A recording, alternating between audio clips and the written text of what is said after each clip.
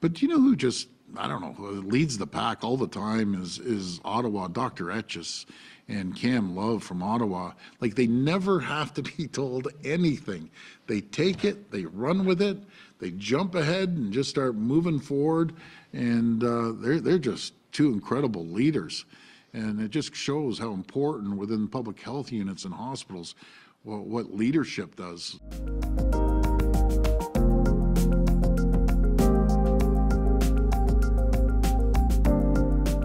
Just sheer, sheer numbers. If I had the numbers that uh, Alberta has, we'd, we'd be done. We're, again, we're already 600,000 doses out there. Uh, That's more than the whole country, so they're doing pretty good.